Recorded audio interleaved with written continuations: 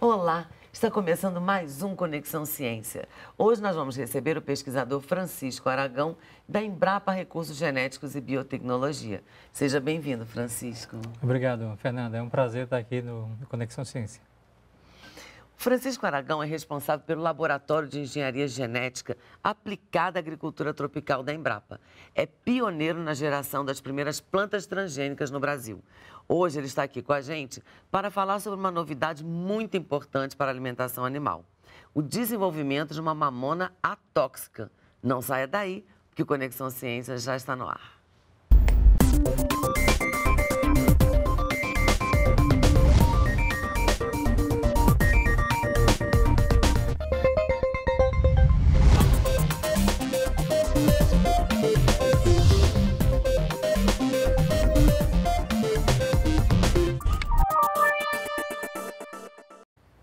Uso da mamona na alimentação animal sempre foi um desafio para a ciência. Isso por conta da ricina, uma substância altamente tóxica que é encontrada nessa planta. Para resolver esse problema, os pesquisadores da Embrapa utilizaram ferramentas de silenciamento gênico para produzir uma mamona sem ricina. A expectativa é que esse novo material esteja disponível no mercado dentro de quatro anos. Francisco, qual é exatamente a origem da mamona?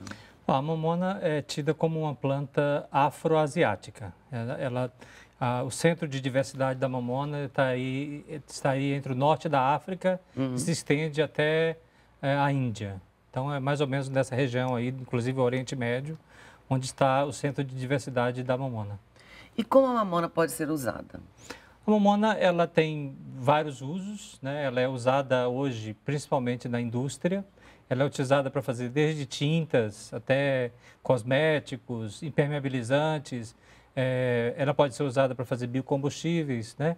Ela também é utilizada para fazer, é, utilizada em, em, máquinas que operam em, em, com biolubrificantes, né? de máquinas que operam em temperaturas extremas, né? Tanto em temperaturas muito altas quanto em temperaturas muito baixas, né?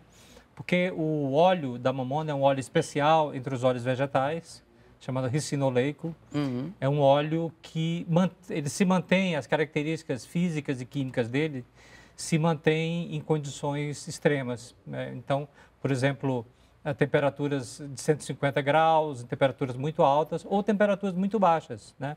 menos 40. E é por isso que é um óleo utilizado para fazer lubrificantes, por exemplo, de aeronaves, né? aviões, naves espaciais, né? é, foguetes. Então, esse é um tipo de material que é, em que esse óleo é utilizado. Então, um produto que tem uma utilização super diversificada, né? Sim, e é um produto que tem uma utilização especial, onde outros materiais, inclusive derivados do petróleo, não, é. não têm um rendimento tão uh, bom quanto uh, esse óleo que a mamona é, é presente na semente de mamona. E quais são os maiores produtores mundiais de mamona hoje? Bom, o maior produtor disparado é a Índia. Né? Uh, a Índia também é o maior exportador. Né? Uhum. 95% do óleo de mamona produzido na Índia é exportado para os Estados Unidos. Também é, exporta para o Brasil também. É, nós temos depois a China, uh, que praticamente consome consome tudo que é, é, produz. Né? Então, a China também é uma grande consumidora, é uma grande consumidora e uma grande produtora. Tem áreas é, consideráveis de mamona. Depois a gente vem é, os outros países que produzem uma quantidade relativamente pequena quando comparado com esses dois países. Né? O Brasil estaria aí entre o quarto produtor. É, a próxima pergunta que eu ia te fazer é quais são os maiores consumidores? A China é o maior consumidor, então? Não, na verdade, um dos maiores consumidores são os Estados Unidos, né, que importam óleo de mamona uh, em quantidades muito grandes, da, principalmente da Índia. Né? A China é também uma grande consumidora, uhum. né, utiliza também grandes, grandes quantidades. O Brasil tem aumentado o consumo Uh, tem se feito, está se fazendo um esforço para aumentar o cultivo no Brasil, né? O Brasil, é, praticamente tudo que é, cultivo, que é produzido é consumido aqui mesmo, e o Brasil ainda chega a importar óleo, principalmente da Índia. É, essa era a minha próxima pergunta. Qual a importância da mamona para o Brasil hoje? Bom, a, o Brasil utiliza uh, o óleo de mamona na indústria, né? indústria de tintas, indústria, na indústria, é, para fazer é, é, é, é, lubrificantes. Né? Uhum. Utiliza, uh, depois que se extrai a torta, o que sobra, da, se extrai o óleo, se sobra, o que sobra ali, o material que a gente chama de torta. Né? Que é isso que é usado na alimentação é, animal? É, isso poderia ser utilizado na, na alimentação animal, né? mas é, pela presença de uma proteína extremamente tóxica, que chama ricina, não é possível utilizar a torta sem que essa torta passe por um processo de detoxificação, ou química ou física. Né? Então, por conta disso, a torta hoje é basicamente utilizada como adubo. Né? Ela é vendida como adubo e ela, que, o que não é um uso muito nobre uhum. para um material desse que sobra após a extração do óleo é, vamos dizer assim, é um alimento que poderia ser muito mais nutritivo na alimentação animal se tirasse a ricina, vamos dizer assim. Isso, do ponto de vista nutricional, Isso. a torta, ela é, tem características muito boas, né? é um, tem um perfil de aminoácidos bom, poderia ser utilizada na alimentação animal, mas obviamente que a presença de ricina obriga é, que essa ricina seja removida após esse, essa extração do óleo. E quais estudos a Embrapa desenvolve com a mamona? A Embrapa tem um programa de melhoramento de mamona, que gera variedades de mamona, isso é feito é, no há centro muitos anos. há muitos anos. É um, é um, existe um programa já consolidado, né? É um programa que está na, é no centro de algodão, na, ah. na Paraíba.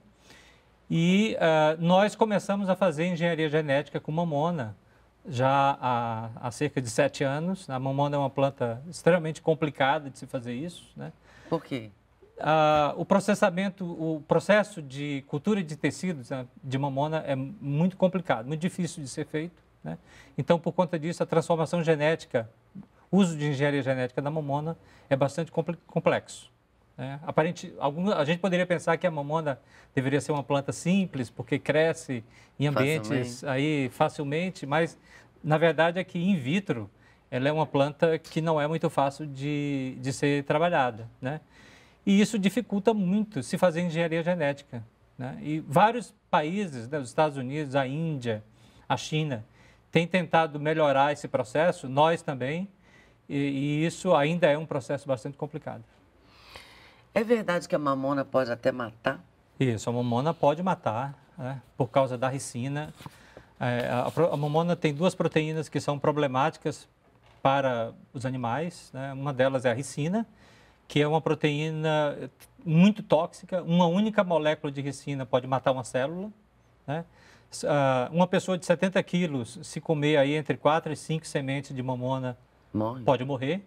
Né? Tem uma chance grande de morrer. Então, ela é uma planta considerada muito perigosa do ponto de vista de que é, para a alimentação de animais, tanto de animais monogástricos quanto ruminantes. Essa ricina é encontrada só na mamona? Isso, é uma proteína que está presente só na mamona. A mamona tem vários genes para essa mesma proteína. Existe uma outra proteína muito parecida, chamada RCA, né? uhum. é, que na verdade a ricina é uma proteína que tem duas cadeias, A e B, e a RCA só tem a cadeia A.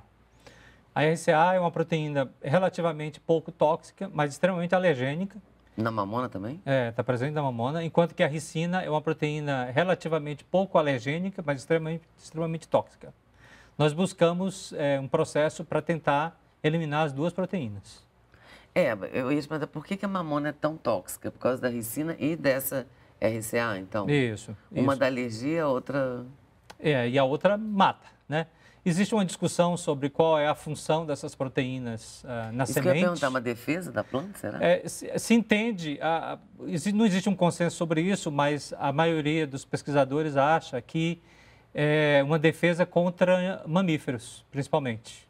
Né? Então, uma defesa, uma, uma defesa que inibe o uso das sementes ou a, o, como alimentação para mamíferos. Totalmente. Né? É, praticamente. E você já falou um pouquinho, mas vamos entrar mais. Como é que a, a ricina atua?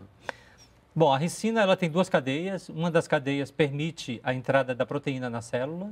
Uma vez que a proteína está na célula, uh, ela atua sobre uma molécula, uh, um RNA do, do, dos ribossomos, uhum. né?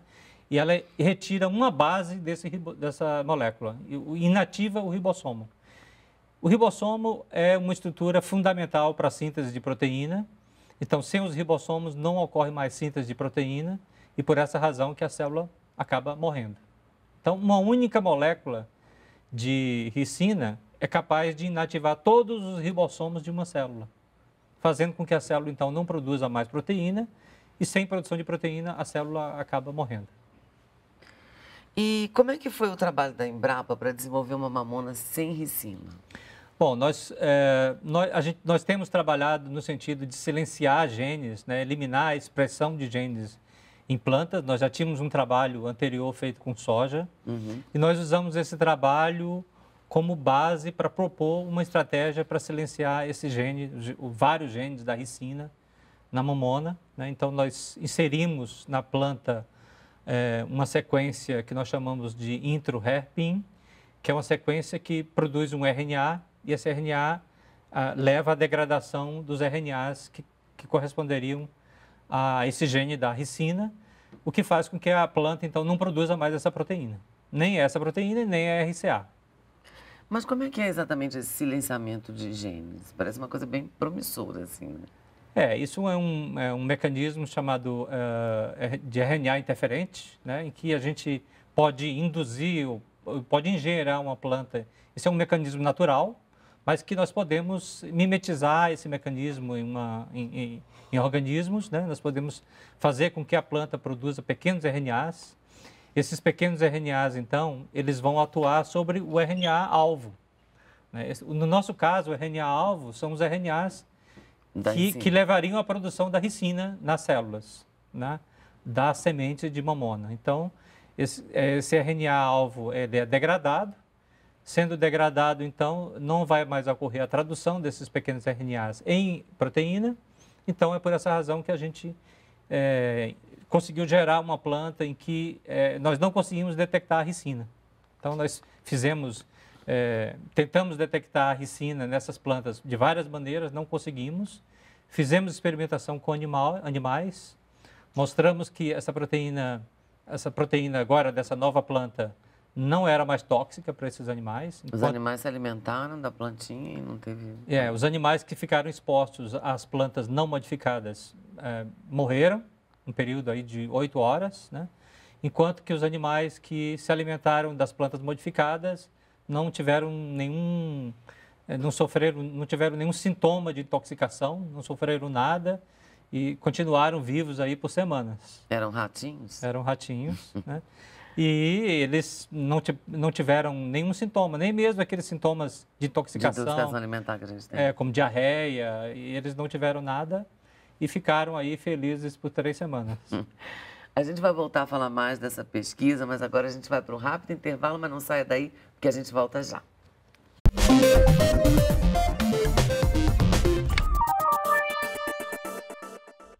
Estamos de volta com Conexão Ciência.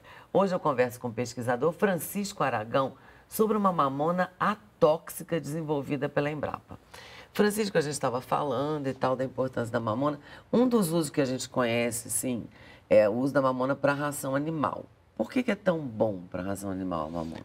Bom, a mamona tem uma proteína é, é, rica em aminoácidos, tem um, um equilíbrio de aminoácidos interessante. Né? Ela poderia ser, por exemplo, misturada com outras fontes de proteína, uh, substituindo parcialmente algumas fontes de proteína, como a soja. Né? Uhum. Né? Uh, uma coisa interessante, então, é a ideia de nós termos uma planta detoxificada é que nós poderíamos é, extrair o óleo da mamona, que tem um uso extremamente nobre, é, e o que sobra, que é a torta, né? então poderia ser então misturada com outros materiais e utilizada para ração animal diretamente. Né? Sem precisar passar por tratamento nenhum. Né? Sem passar por, sem necessidade de detoxificação por, por outros processos químicos ou físicos. Né? Uh, é interessante que a mamona é uma planta uh, adaptada a, a condições uh, de, de, deficiência hídrica, né, de calor, né, ambientes estressantes para a maior parte das plantas. Ela sobrevive bem. Ela sobrevive bem, ela é uma planta que já é adaptada a essas regiões. Né? Isso é interessante porque, enquanto é, se busca é, adaptar algumas plantas a essas condições estressantes, né? condições de estresse hídrico, falta de água, né? Uh, ou, ou calor, né? nós podemos fazer uma outra coisa, que é pegar plantas que já estão adaptadas a essas condições e dar novos usos a ela. Claro. Né? Então, então, a mamona, por exemplo, é uma planta que já está adaptada a essas condições. Né? Então, nós podemos modificar essa planta no sentido de que ela possa ser usada de uma maneira mais integral. Né? Então, ao invés de a gente pegar uma torta e, e dar um uso, uh, como por exemplo, como adubo, né? que não é um uso muito nobre, nobre para uma torta, uh, nós podemos utilizar isso, por exemplo, na ração animal de animais, por exemplo, que são criados em regiões semiáridas, como as regiões semiáridas do Brasil, né? em que nós poderíamos agora ter uma nova fonte de proteína que poderia ser misturada com outros materiais, né? Uhum. É, como uma fonte de proteína nessas regiões. A mamona é, ela é cultivada no Brasil inteiro? Ela tem sido, ela historicamente é uma planta que tem sido cultivada no Nordeste por razões é, óbvias, né? Porque é uma planta muito adaptada às regiões mais regiões semiáridas do, semiáridas do mundo. É, tem, se, tem se buscado cultivar a mamona uh, no Mato Grosso, né? Uh, mas no Mato Grosso ela enfrenta, como é uma região mais úmida, ela tem enfrentado um, um, uma doença fúngica que, que é um problema para o cultivo da mamona em regiões mais úmidas, né, que chama mofo cinzento. É, então, ela é realmente uma planta mais adaptada a climas mais áridos. Então, seria uma, como você disse antes, uma solução excelente né, para a região semiárida, para a região nordeste, ter uma planta que poderia alimentar animais e tal, e ter outros usos sem a, a sem a, a ricina, né? Exato. E, inclusive, mais recentemente, tem se aumentado a área de cultivo em algumas regiões, na Bahia, por exemplo, utilizando variedades mais modernas é, de, de mamona, que são bem diferentes dessas mamonas aí, que essas plantas que crescem é, em, em, ambientes, é, normalmente terrenos baldios das cidades, né? Uhum. Uh, mas as, as variedades melhoradas são diferentes, elas são, elas são uh, têm condições estáveis, os grãos são maiores, né? Enfim, são, são plantas especiais. Essa doença fúngica e o mofo cinzento, a Embrapa já está de olho nisso? Já está... É, a gente vem pensando em estratégias também para resistência ao mofo cinzento. É, é uma, uma doença é, que limita o aumento de cultivo nessas, nessas áreas né, mais úmidas. Uh, e há o interesse em se aumentar o cultivo dessas, de mamona, por exemplo, no Mato Grosso. Pois né? é. é. Então, é, obviamente, isso faz parte então, do, dos programas de melhoramento, tentar encontrar resistência a essa doença. E, é bom, a, a Embrapa conseguiu desenvolver plantas sem a ricina, né? É, é, foi, é inovadora no mundo? É o primeiro, pioneira no mundo essa pesquisa? Bom, já vários grupos, é, principalmente nos Estados Unidos é, e na China também, vêm tentando há muito tempo obter plantas é, modificadas, né, geneticamente modificadas, com silenciamento da ricina. Né? É, o que limita, o que vem limitando, o que limitou que isso pudesse ser feito durante todo esse tempo é o, o, processo de transformação genética da mamona, que, que é extremamente difícil, complexo. Né? Exato. É complexo por causa da cultura de tecidos de mamona. Né? O que acontece é que muitas plantas que, que se obteve, né, a USDA nos Estados Unidos, a Universidade do Texas, né, centros da, da China, vem tentando fazer isso durante muito tempo. Nós também, né? E é, as plantas que a gente obtinha, elas eram o que a gente chamava transformação epidérmica. Só a epiderme da planta era transformada. A parte de fora, vamos dizer assim? É, a parte de fora, né? E os genes inseridos não passavam para a progênie. Que é a segunda geração isso, da planta. Que sem isso, obviamente, você não tem, não pode ter uma tecnologia, porque a mamona é, é cultivada a partir de sementes. Né? Uhum. É, e o que aconteceu conosco, depois de sete anos tentando fazer isso, foi que de repente a gente teve uma planta em, que, que passou os genes para a progênie e ela estava totalmente silenciada. A ricina estava totalmente silenciada nessa planta. E essa foi a primeira vez no mundo? É, foi a primeira foi vez no mundo né? que isso foi é, conseguido. E essa pesquisa tem, tem despertado interesse de outros países? É, já alguns países têm é, demonstrado interesse em usar uma tecnologia como essa, principalmente os Estados Unidos, né? mas também Israel e a China. Já entraram em contato com você? É, já entraram em contato no sentido de procurar entender do que se tratava e como que eles poderiam utilizar. Né? Os, os americanos têm um problema que é, é, eles não podem cultivar mamona comercialmente. Por causa da ricina? Por causa da ricina, porque eles têm medo que a ricina possa ser usado como uh, uma, uma, arma de bio, bioterrorismo, né? Então, uh, e é uma planta, por causa da ricina, ela não, não é cultivada comercialmente lá. E há um grande interesse em se cultivar essa planta lá para que o óleo pudesse ser extraído e usado lá, já que eles são os maiores importadores de ricino oleico, que é o óleo da mamona. E o que, que falta para essa planta modificada chegar no mercado? Bom, como é uma planta geneticamente modificada, né, nós, é um, um processo regulado uhum. né, no uhum. Brasil e em vários países, né, nós agora precisaríamos é, passar pelo processo de geração de dados requeridos pelo sistema regulatório, são dados de biossegurança. Então, apesar de nós termos uma planta que era tóxica e transformamos numa planta que não é mais tóxica para animais, nós ainda assim temos que... Que enfrentar todos os procedimentos de biossegurança. Enfrentar, enfrentar os, as perguntas feitas pelo sistema regulatório, responder essas perguntas com experimentos que demonstrem que essa mamona atóxica é, é tão segura, na verdade é, é mais segura de ser cultivada do que a mamona tóxica, tóxica né? mas nós temos que mostrar é, responder essas perguntas, é, entrar com esse pedido de liberação comercial no Brasil e possivelmente em outros países, né, como Estados Unidos e China, para que a gente possa é, cultivar essa planta no Brasil e nesses outros países. Em paralelamente, paralelamente a isso, nós temos que também gerar as novas variedades já com esse gene.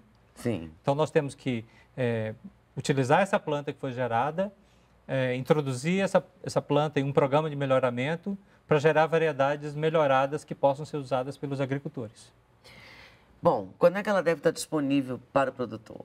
Bom, essa resposta é, é uma resposta difícil de ser dada porque, porque depende da biossegurança. Né? Depende da biossegurança, depende de vários fatores, né? Depende de é, é, depende não, não só de, depende do sistema regulatório que é sobre o qual nós não temos muito é, controle. É, e quais poderão ser os novos usos da mamona sem ricina?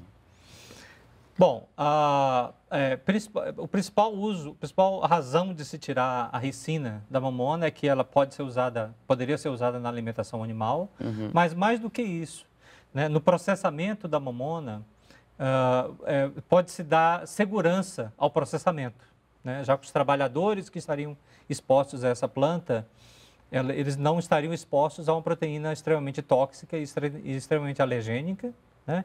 E também é, é, dá uma segurança para o cultivo, né? Você terá, poderá ter no campo grandes áreas de uma planta que já não tem a toxidez da sua parente tóxica. né? Então, é, essa é uma, uma razão né, é, interessante, porque a gente é, vê que é, pessoas que trabalham, melhoristas, pessoas que trabalham com a mamona, muitos deles adquirem é, alergia a, a, sementes, né? Exatamente por causa da, da, da ricina. E, bom, para fechar nossa entrevista, então, quais são os prejuízos causados pela ricina na cadeia produtiva da mamona hoje? Bom, o principal é, problema, né, como eu mencionei, é que a ricina, ela, em alguns países, por exemplo, nos Estados Unidos, ela limita o cultivo. Em outros países, ela ela é cultivada em larga escala, ela coloca em risco uh, trabalhadores que eventualmente podem estar associados a isso, né? E é, principalmente nós podemos produzir um, uma torta, né?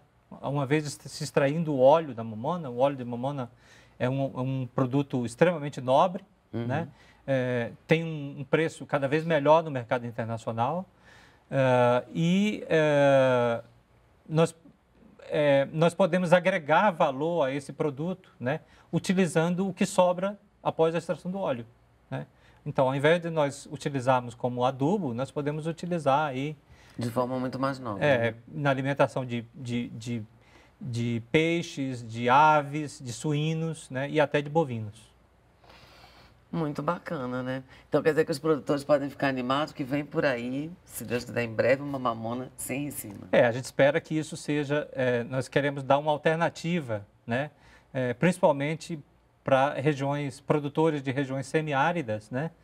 Em que, onde alternativas são poucas. São poucas. Né? Então a gente quer aumentar alternativas para produtores dessa região. por uma planta já adaptada lá, né? Exatamente, uma planta que já é adaptada a condições é, de solos pobres, né, de clima árido, né? É, e isso é uma condição que é, provavelmente vai ficar cada vez mais é, importante para o cultivo né, no mundo, e principalmente nas regiões semiáridas. Ou seja, além de uma importância econômica, tem um ponto de vista social forte aí também. Né? Exatamente, exatamente, porque é, nós daremos uma possibilidade né, de ter um material que possa ser, ter um uso nobre como ração. Muito interessante. Muito obrigada, Francisco, pela sua participação. Obrigado, foi um prazer. E o Conexão Ciência termina aqui. Confira os dias e horários das reprises na página da EBC ou da Embrapa na internet. O programa também está disponível no canal da NBR no YouTube. Obrigada pela companhia e até a próxima semana.